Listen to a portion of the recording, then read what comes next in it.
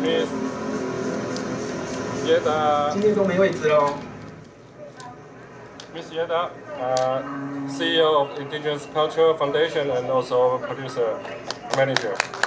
And she was uh, uh, and also the actor.